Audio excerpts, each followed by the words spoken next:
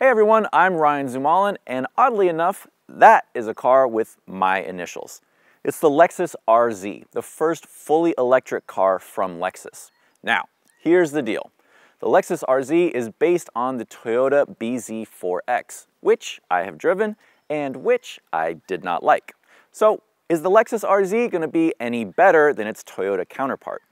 And where should you spend your money when the competition in this class also includes Audi, Volvo, Genesis, and of course, Tesla?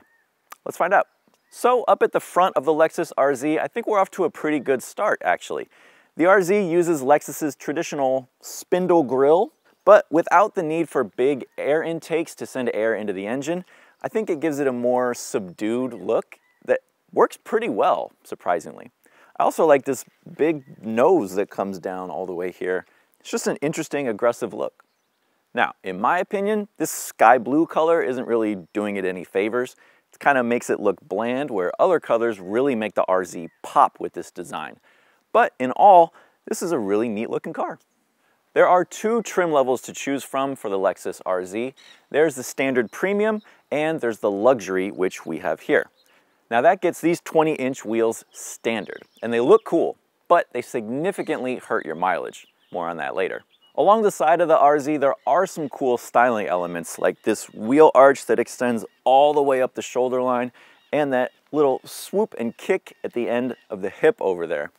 This is right on the border of overstyling, but it works. Now we're at the rear of the RZ. So at first glance, this is a pretty conventional EV hatchback, right? You've got this big illuminating light bar that stretches from one end to the other. Stare at it for a little bit and there are some really interesting design elements. I kind of like these fake intakes that shoot up towards the sky. And then you've also got these spoiler spikes up here, almost like two devil horns. I'm shocked at how much I like the looks of this thing. Every Lexus RZ has the same machinery under the hood. And we've really only opened the hood to demonstrate to you that there's no engine. There's also no frunk. It's just all the electrical components. So under the floor of the RZ is a lithium ion battery pack with 71.4 kilowatt hours. And that's sending power to electric motors at the front and at the rear, effectively giving you all-wheel drive. Total power output is 308 horsepower, which is no slouch. And in this car, it makes it go, no question about it. I know what you're thinking. What about range? Well, it's gonna hurt a little. On this luxury model with the 20 inch rims, there's 196 miles of total EPA estimated range. That's not great. Now you can get the cheaper version of the Lexus RZ for 220 miles, but again, in this class, we're talking more often about cars that are pushing 300 miles of range or more. Now, one advantage is that the Lexus RZ does seem to be pretty efficient with its mileage, at least in our testing so far. You will get pretty good mileage out of the juice that you have, but the size of the battery just means you aren't gonna be able to go that far compared to the competition on a single charge. When it comes to pricing, the Lexus RZ starts at $59,650, including the destination fee, and that's for the base model. Now this luxury version starts at a little over 65 grand with destination, and this particular one with a couple of options is a little over 67 grand. Now look, the fact is that's pretty expensive for the class. Audi and Tesla both have models that come in at significantly lower numbers with significantly more total range on a full charge. Inside the Lexus RZ, there are definitely some quirks and interesting features that separate this Lexus from its Toyota and Subaru counterparts. And it starts as soon as you get in. First, you have a pretty big door opening and it's nice and easy to slide in. And on that door, there's this little button instead of a traditional handle.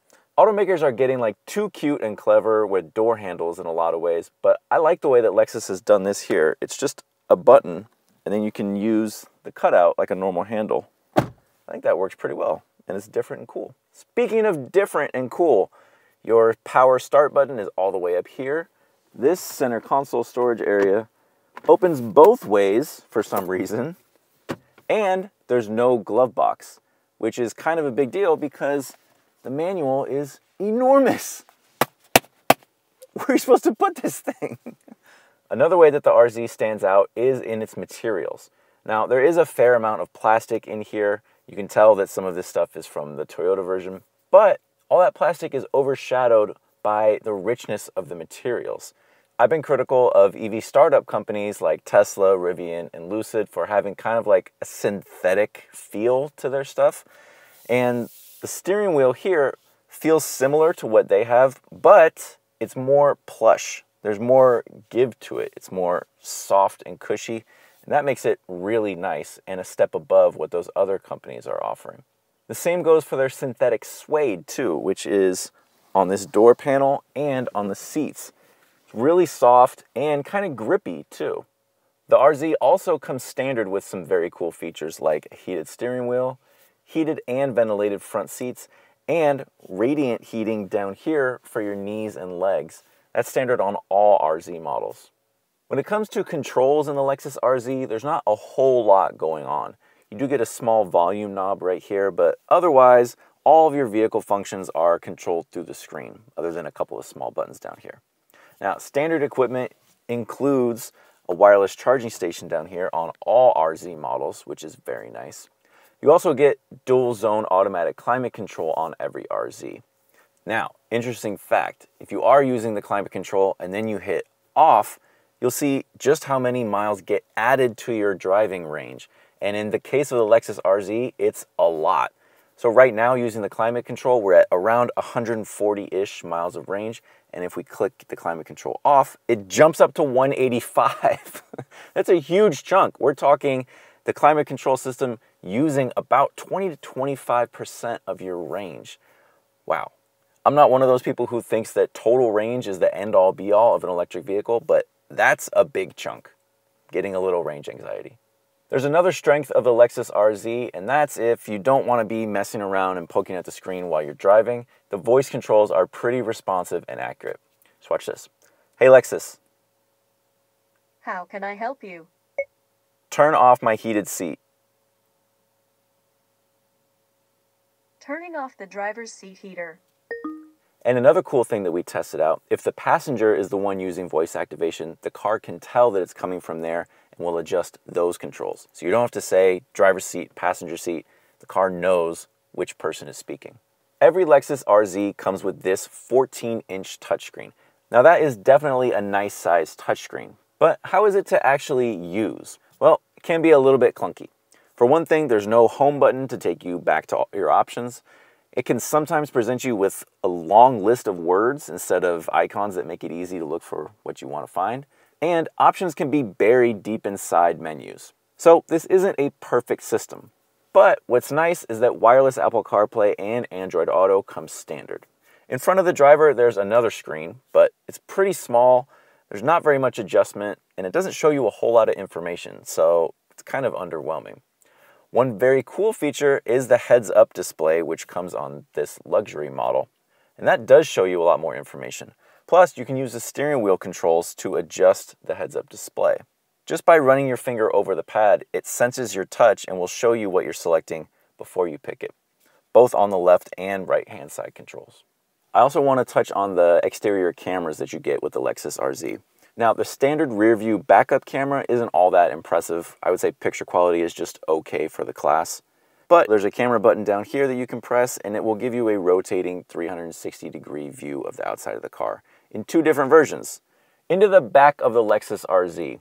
It's very easy to get in here. Again, you get big door openings and these seat bottoms are at the perfect height to just fall right into them. And it's a nice place to fall into too. This is a pretty flat bench seat, but it's really comfortable they made the whole dang back seat out of that synthetic ultra suede material, which I really enjoy back here. And even though the seat backs are a little upright, there's a nice indentation in here so that your back and shoulders just kind of fall into it naturally, which is nice. There's a lot of headroom here. It's unlike the way that Tesla does headroom, where the Model Y has that kind of like rounded greenhouse. This is more like flat all the way back.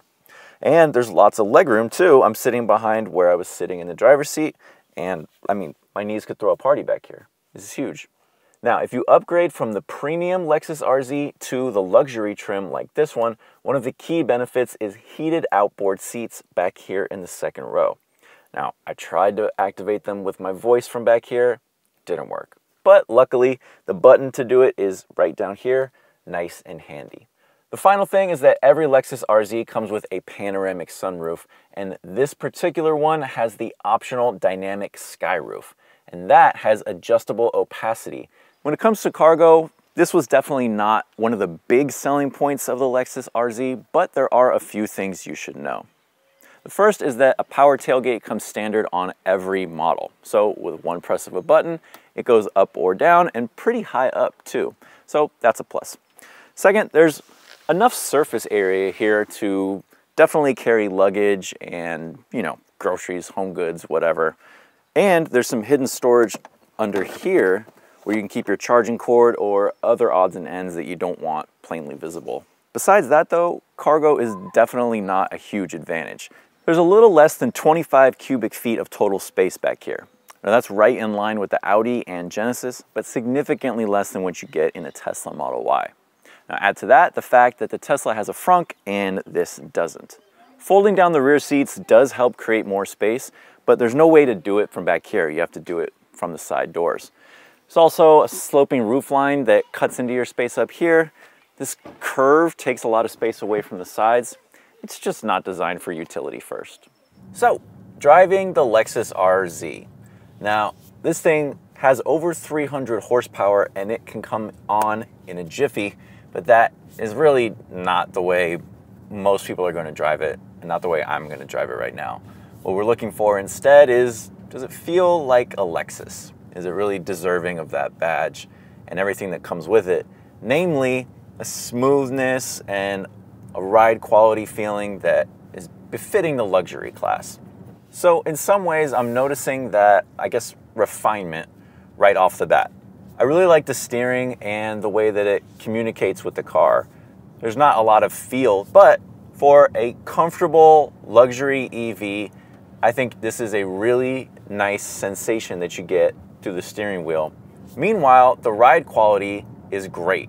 The suspension does a really nice job of metering out some of these cracked roads that we're on, which are uneven and washed out and covered in dirt and debris, but I'm not getting a lot of that through my seat at all. Another easy indicator is how much noise or lack thereof is coming into the cabin.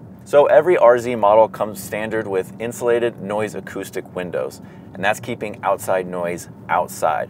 So what you get inside the cabin is a comfortable, smooth ride that's free from all the craziness going on in the outside world. That's what that Lexus badge should represent. However, in other ways, the Lexus RZ can be a little bit half-baked and sometimes even baffling.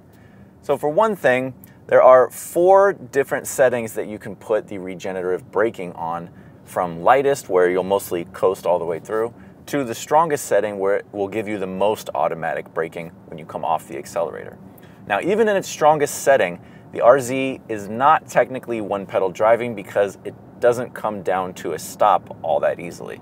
Now that is more on the baffling side because one pedal driving is one of the things that EV drivers have come to expect from new vehicles. So in a car like the Lexus RZ, which doesn't have a frunk, doesn't have one pedal driving, what is the EV experience that you're getting here? I am finding this an enjoyable EV to drive. The power is nice and responsive. Like I said, the handling feels good, the ride comfort is there. I'm just not very big on the braking feel. So if I come out of the most aggressive automatic braking and just use the pedal, there's a real spongy quality to it, not very much feel there at all, which is typical for an EV, but this one in particular even compared to other EVs, is just kind of dull. For city driving and regular commuting, I think this would be a perfectly comfortable car to get you through your day in style and comfort. But again, you have a lot of options in this class, and I don't see many ways, if any, that the Lexus RZ is standing out from the pack. So that is the Lexus RZ for today. Let's go over some of the main positive and negative points of the car. To start off, the Lexus RZ is smooth to drive. I like that comfortable ride and easy operation quite a bit. I also like the nice materials inside. It feels premium even for a luxury car. And number three is the amount of standard features that you get inside. Everything from wireless Apple CarPlay and Android Auto to dual zone automatic climate control. Nice touches. As for negative points, this is a pretty pricey car, even for luxury electric vehicles. There's lots of competition in this class and you can get more for your money, frankly. My second knock on the RZ is that it doesn't jump out and try to impress you in any one area, and it seems to be perfectly content with that. In a class where everyone is trying to flash and get your attention, the RZ is just happy to be the Lexus of EVs. Third and final downside is range. Sorry to say it, but it just matters. You can be as efficient as you want, but total range is a major selling point for electric vehicles, and this ain't got it. Thanks so much for watching today. Click like and subscribe if you enjoyed this video so we can make more just like it. Also, if you want to read more about the Lexus RZ and the other vehicles that we mentioned in this video, click the link in the description below. Until next time, see you later.